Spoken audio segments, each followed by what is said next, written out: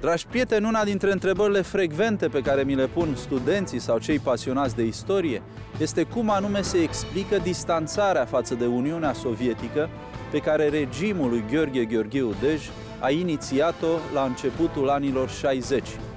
Ei bine, în istorie totdeauna un efect are mai multe cauze, iar una dintre cauzele acestei distanțări față de sovietici trebuie căutată la capătul pământului, tocmai în Cuba, Așadar, vă propun în episodul de astăzi să vorbim despre criza rachetelor cubaneze din anul 1962 și consecințele sale asupra României.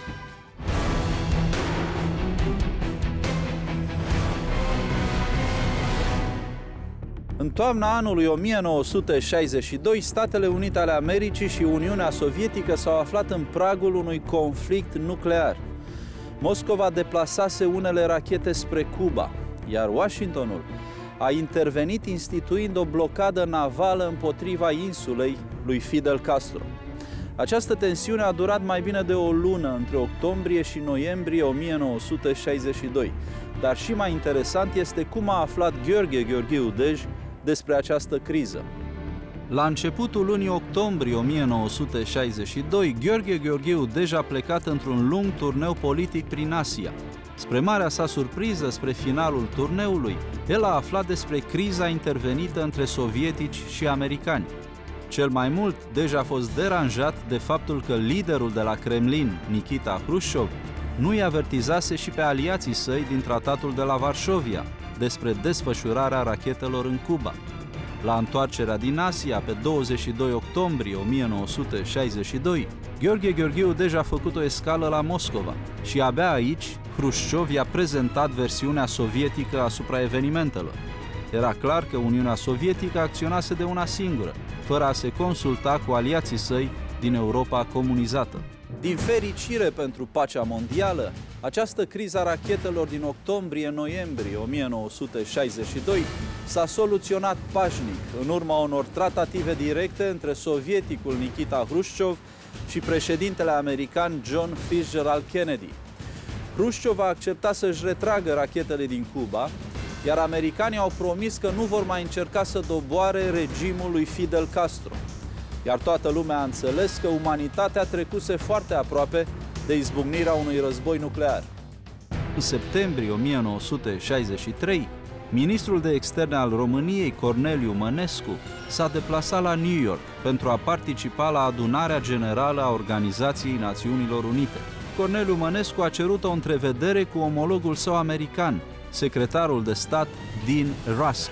Întrevederea a avut loc pe 4 octombrie. Corneliu Mănescu i-a spus lui Dean Rusk faptul că Gheorghe Gheorghiu Dej habar nu avusese de intenția Moscovei de a trimite rachetele în Cuba și, în consecință, Bucureștiul cerea Americii să nu atace România în cazul în care o astfel de aventură sovietică s-ar repeta. De unde inițial acceptase cu scepticism întâlnirea cu ministrul român, secretarul de stat din Rusk a fost plăcut impresionat de discuția cu Mănescu. Prin aceasta, regimul lui Gheorghe Gheorghiu Dej dădea semne că și-ar putea planifica o politică externă mai independentă. De fapt, relațiile promițătoare dintre România lui Nicolae Ceaușescu și Statele Unite ale Americii își au rădăcina aici, în acea întâlnire de taină din octombrie 1963.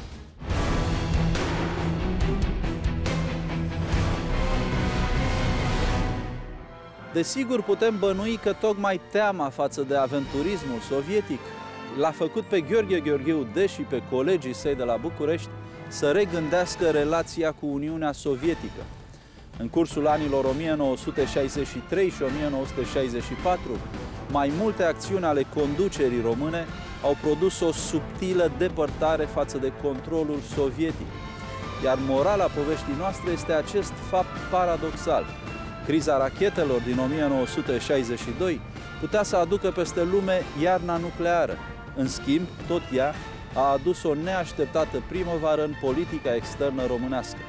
Iar până la întâlnirea noastră viitoare, nu uitați că istoria rămâne cea mai frumoasă poveste pentru oamenii inteligenți.